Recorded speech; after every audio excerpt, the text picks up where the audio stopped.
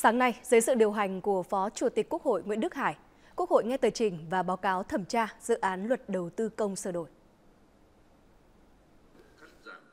Tờ trình dự án luật đầu tư công sửa đổi do Bộ trưởng Bộ Kế hoạch và Đầu tư Nguyễn Trí Dũng trình bày cho biết, nội dung sửa đổi luật đầu tư công đã cụ thể hóa đầy đủ toàn diện 5 nhóm chính sách lớn,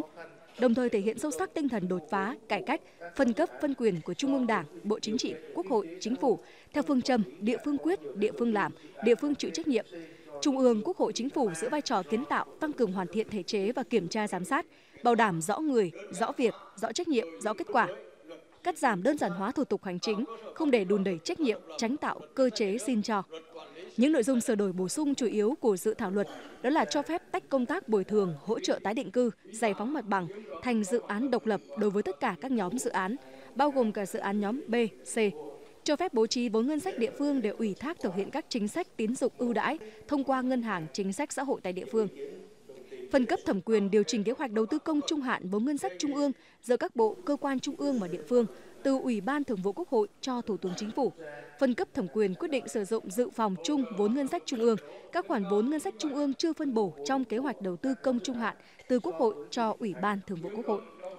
Báo cáo thẩm tra dự án luật do chủ nhiệm Ủy ban Tài chính Ngân sách Lê Quang Mạnh trình bày nêu rõ. Đa số ý kiến, Ủy ban Tài chính Ngân sách nhất trí về sự cần thiết nghiên cứu, trình Quốc hội xem xét luật đầu tư công sửa đổi nhằm tiếp tục đổi mới, nâng cao hiệu quả quản lý đầu tư công, khắc phục những tồn tại hạn chế vướng mắc phát sinh trong quá trình thực hiện luật.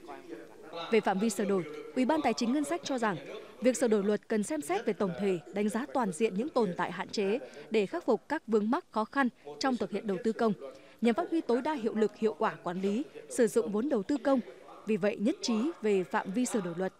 Tuy nhiên, số lượng các điều khoản luật thay đổi nhiều, phạm vi sửa đổi lớn, nhiều nội dung thể chế hóa các cơ chế chính sách đặc thù mới được thí điểm triển khai thực hiện trong thời gian ngắn, đòi hỏi phải đánh giá kỹ về tác động chính sách và nghiên cứu giả soát thận trọng để bảo đảm việc ban hành luật phù hợp với yêu cầu thực tế.